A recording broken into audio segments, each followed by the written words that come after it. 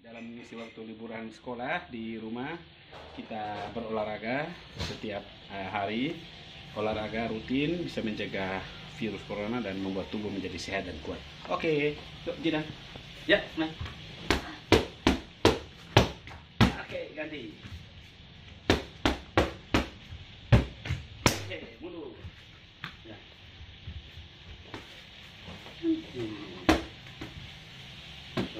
Hmm.